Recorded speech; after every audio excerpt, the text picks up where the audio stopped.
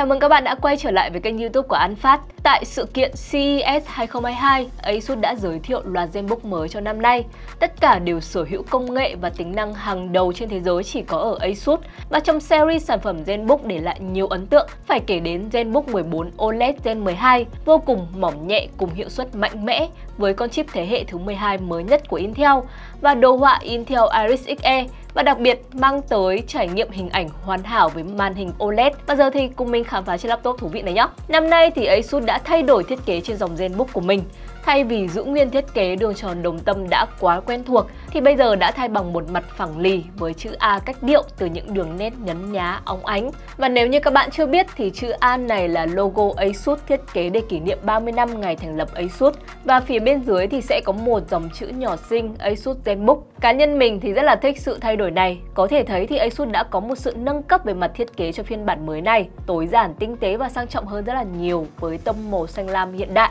Bề mặt hơi sần, cảm giác sờ khá thích tay. Chỉ có một điểm trừ là bám vân tay nên nếu mà các bạn muốn máy sạch sẽ thì nên lau chùi thường xuyên nhé.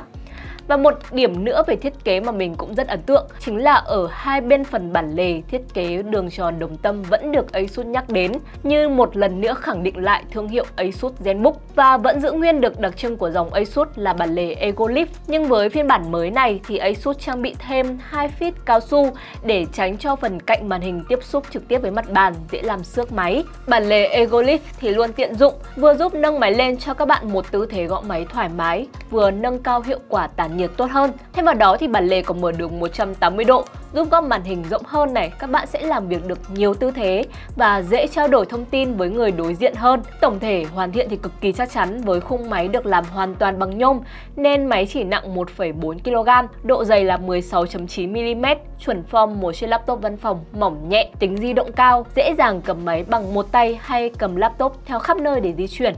Và ngoại sự thay đổi về mặt ngoại hình thì điểm đáng giá nhất trên Asus ZenBook 14 đó là màn hình gương OLED với độ phân giải 2.8K siêu đẹp, siêu sắc nét trên một mẫu màn hình 14 inch. Sở hữu thiết kế Nano S với 4 viền mỏng nên màn hình có tỷ lệ trên thân máy là 90%. Cạnh trên được trang bị webcam, màn hình đạt chuẩn tỷ lệ vàng 1610 cùng tần số quét ấn tượng 90 Hz trên một chiếc Ultrabook, độ sáng cao lên tới 400 nits. Cho dù các bạn sử dụng trong nhà hay ngoài trời thì màn hình cũng hiển thị rõ nét, không bị lóa. Màu sắc chuẩn không phải bàn với 100% DCI-P3 và đạt chứng nhận ban tông về độ chuẩn màu sắc. Độ sai lệch màu số siêu ít khi Delta E sấp xỉ bằng 1, gần như là giống với những gì mà mắt thường có thể nhìn thấy được nhất. Đặc biệt, với chiếc màn hình OLED còn có khả năng bảo vệ mắt tốt hơn nhờ giảm thiểu ánh sáng xanh dương có hại phát ra tới 70%, hạn chế các nguy cơ tiêu cực tổn hại tới võng mạc. Và đây là một mẫu màn hình cực kỳ hoàn hảo cho những ai làm về công việc sáng tạo, nhất là những công việc liên quan đến xử lý hình ảnh, màu sắc. Các bạn sẽ không thể chê được bất cứ điều gì về chất lượng hình ảnh trên màn hình của chiếc Asus ZenBook này để đem lại. Và ở đây các bạn sẽ có một cấu hình có thể phục vụ tốt tất cả các tác vụ văn phòng, giải trí, cơ bản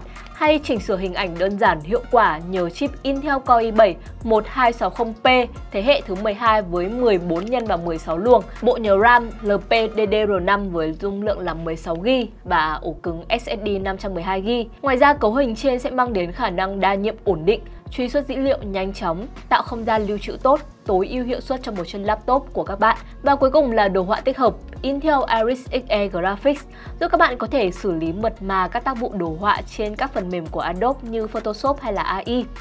Và xuống đến phần bên dưới là bàn phím và touchpad cũng là một điểm cộng trên ZenBook 14. Layout phím hợp lý, hành trình phím sâu, bề mặt các phím được Asus thiết kế võng xuống cùng phần phít cao su được bao quanh các phím cho trải nghiệm gõ phím chính xác và phần tay khi tiếp xúc với bàn phím thì vô cùng thoải mái. Và vừa để tăng tính bảo mật, vừa giúp máy khởi động nhanh hơn thì Asus tích hợp cảm biến vân tay một chạm ngay trên nút nguồn. Ở phần top bát thì tích hợp bàn phím số luôn là điểm đặc trưng trên các dòng ZenBook, giúp cho việc nhập dữ liệu trở nên nhẹ nhàng hơn, dễ dàng hơn. Và bề mặt siêu mịn, chống bám vân tay khi được phủ một lớp nano và một lớp phủ PVD, giúp các thao tác cảm ứng đa điểm dễ dàng và phản hồi nhanh chóng hơn bao giờ hết. Và ở đây, cổng kết nối cũng được Asus trang bị đầy đủ cho ZenBook OLED 14, gồm một cổng USB Type-A, cạnh phải thì sẽ có một cổng HDMI, một jack audio combo, hai cổng Thunderbolt 4, một đầu đọc thẻ microSD,